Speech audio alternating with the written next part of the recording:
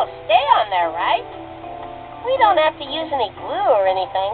Careful there. Don't ever mention G-L-U-E around old Elmer.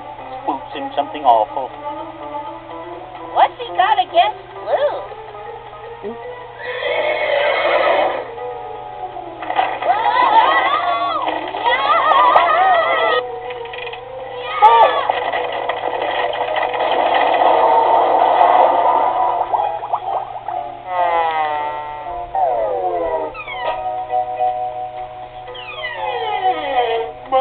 At last.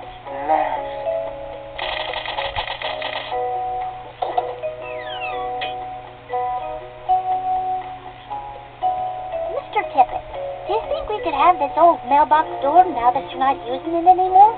Sure. Take it and leave me to hum it in peace.